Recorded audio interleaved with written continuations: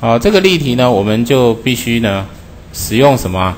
使用它的这个基本定义哈，u 跟 v 的内积哈，它就是 u 的长度哦，然后乘上 v 的长度哦，啊再乘上 cosine 西塔哈，好再乘上 cosine 西塔，那西塔是 u 跟 v 的夹角哈，那 u 的长度很容易哈。一零这个向量长度就是一哈。，v 向量的长度呢一一哈，它的长度就是根号二嘛哦，这应该没问题哦。那它们之间的夹角是多少度呢？好，同学哦，一零这个向量我们把它画出来，你就可以看出来它的角度了哦。好，这是一零这个，我们用粗一点的线哈，这是一零这个向量哈。也就是我们的 u u 向量哈，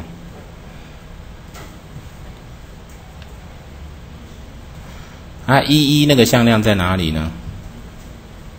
一一那个向量在这边哈，从这里到这里哈，这是我们的 v 向量哦。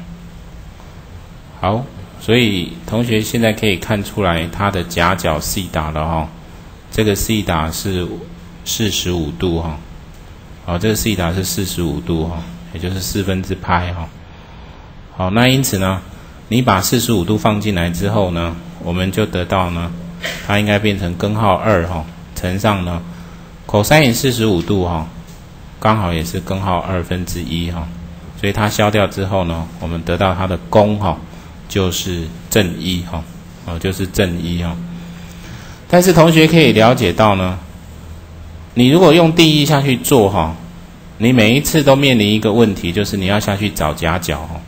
这个夹角哈，有时候并不容易哈，尤其是空间里面哈。空间里面随便两个向量，我们现在画的是空间的哈。空间里面这样随便两个向量，你要下去找它的夹角哈，那个困难度非常的高哈。所以我们往后呢，定理哈，主要的目的就是希望能够寻找到一个比较简洁的做法哦。来去求这个它的内积哈，那也就是物理上的这个。